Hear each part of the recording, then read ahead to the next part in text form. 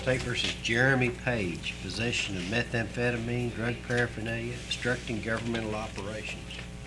Your Honor, he's actually here for arraignment. Prior to that, us taking that up, I'd like to inquire of the defendant, please.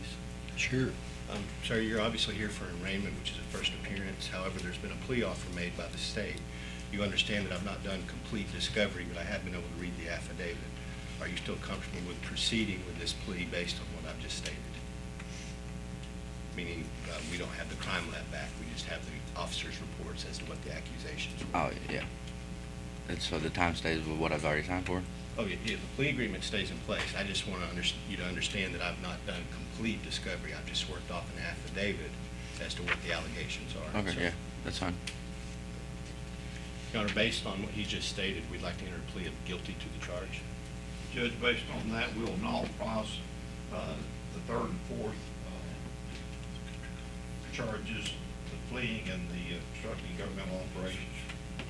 Those are misdemeanors, he's pleading to felonies. He's got record of some sort, I guess. Yes, Your Honor. Yes, sir. Sir, I'm looking at a police statement here. Have you gone over this document? Uh, yes, sir. Do you feel you understand the matters set out in the police statement? For the most part, Okay. What don't you understand? uh, I think the only thing he had a question if it ran concurrent with Right. his time that he already has signed on for parole. I've explained to him in Arkansas, unless it says consecutive, uh, it's a given by statute that things run by, uh, run concurrently. Right. right, that's, that was my only Now, how concern they, there. how they would treat you at the penitentiary, I don't know, but if I sentenced you, it would be concurrent with other time. Right, okay. Okay. With that, you feel you understand what's in the police statement? Yes, sir. You understand the charges against you and the range of penalties if you're convicted?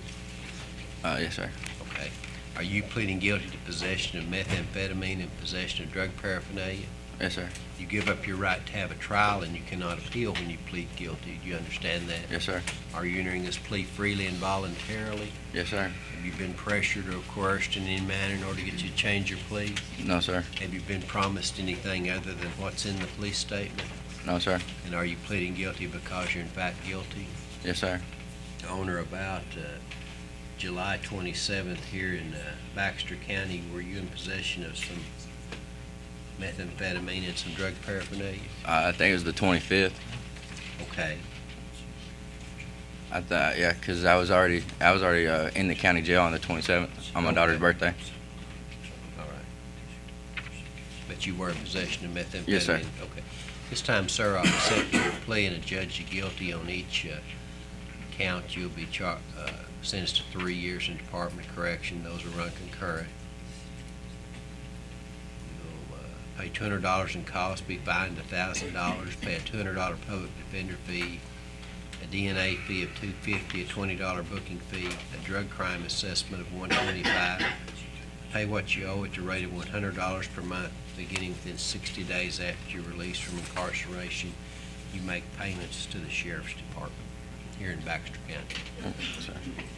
Uh, Is it, is it- State versus Danny Sturgis, fourteen one eleven, theft, breaking or entering, thirteen forty-seven, theft by receiving, altering VIN numbers.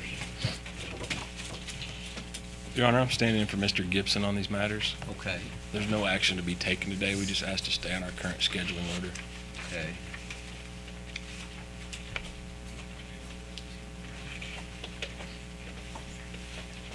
Very well. We Thank may- you. We may be excused, thank you, Judge. State versus Adam Webb, fourteen one eighty-three, forgery in the second degree. Your Honor, Your Honor, showing it's a reappearance, this is Mr. Bailey's case. Um, I'm going to ask that be recalled after the break so I can visit with Mr. Kincaid, see if it can be resolved today. Very well, we'll recall the case. Twelve one hundred, State versus Tyler Garris.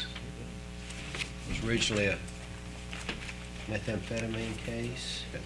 Got set for hearing next week. It looks like it's- I'm not sure if the judge is going to be here till the 28th. Oh, is that right? Well, I've been.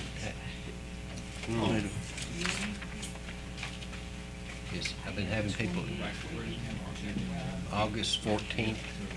State versus Jeremy Witt, conspiracy to obtain a controlled substance by fraud. obtaining a controlled substance by fraud. Eleven two seventy-seven, set for hearing today on a petition to revoke. Your Honor, I think there's going to be a drug court offer. We probably should leave that file out till we determine when Judge Wade's Okay. going to be here, and then we can schedule it. He'll He obviously be in screening. custody.